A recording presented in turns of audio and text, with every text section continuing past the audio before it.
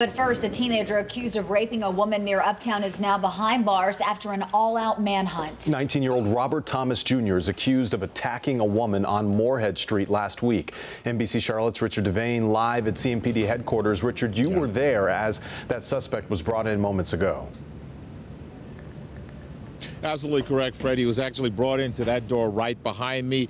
Police uh, escorting him. At that time, he I asked him if he could say anything. He did not. Let's take a look at some video.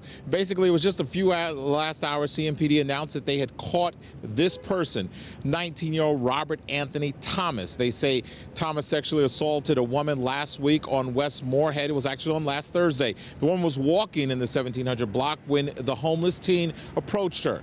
He then assaulted her. The 25 year old woman says that Thomas also stole her cell phone.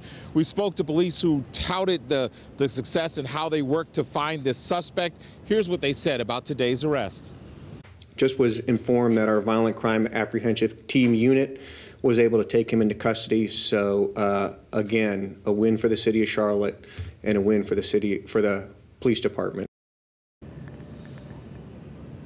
Yeah, earlier this week, they had actually held a press conference showing Thomas's picture to the public, asking if anyone had any information. Of course, the Violent Criminal Apprehension Team, or VCAT as it's known, was able to catch him today.